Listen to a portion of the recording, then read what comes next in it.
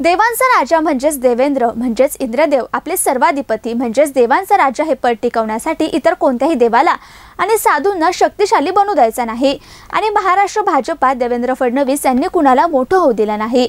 आणि आपलं महाराष्ट्राधिपतीपद कायम ठेवलं.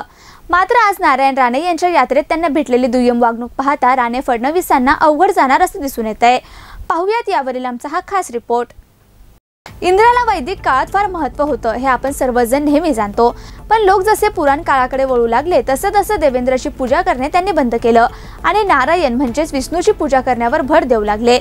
आणि अगदी नारायणाच्या म्हणजेच विष्णूच्या अवतारातील श्रीकृष्णांनीच देवेंद्रची पूजा करू नये असं लोकांना सांगितलं होतं. यावरून पुराणात देवेंद्रपेक्षाही नारायणाला म्हणजेच विष्णूला फार महत्त्व दिलं जात असल्याचं दिसून येत होतं. आणि आज कलियुगात सुद्धा असंच काहीसं राजकारणात सुरू असल्याचं आपण म्हणू शकतो. कारण नारायण राणे यांच्या हाती केंद्रीय सत्ता आल्याने त्यांनी देवेंद्र फडणवीस यांना दुय्यम स्थान द्यायला सुरुवात केली आहे का? असा सवाल अनेकांना पडलाय. दरम्यान नारायण राणे यांना ज्या पक्षांनी संधी दिली त्या पक्षाच्या आणि नेत्यांच्या विरोधात बोलायला ते कधीच कसरले नाहीत.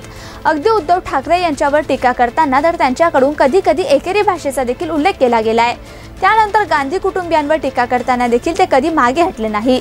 आणि आता फडणवीसांनी त्यांना पक्षात घेत केंद्रीय मंत्रिपदाची जबाबदारी देखील दिली. आणि हे सगळं असताना भाजपच्या यात्रेत फडणवीस अगदी काही क्षण दिसले आणि अनेक वागण्यातून त्यांनी आपणच बॉस असल्याचं दर्शवून दिल्याचं राजकीय विश्लेषकांनी म्हटलंय. राणे यांची आपल्या नेत्यांपेक्षा मोठं होण्याची महत्वाकांक्षा कधीच लपून राहिली नाहीये. आणि आता केंद्रीय मंत्रिमंडळात वर्णी लागल्यानंतर त्यांची महाराष्ट्राच्या मुख्यमंत्रीपदाची असलेली छुपी महत्वाकांक्षा ते उघडपणे दर्शवताना दिसून येत आहे. आता यामुळे महाराष्ट्राच्या राजकारणात देवेंद्र फडणवीस हे राणेंचे खडसे करतील का असा प्रश्न अनेकांना पडला आहे bureau report the column news Mumbai.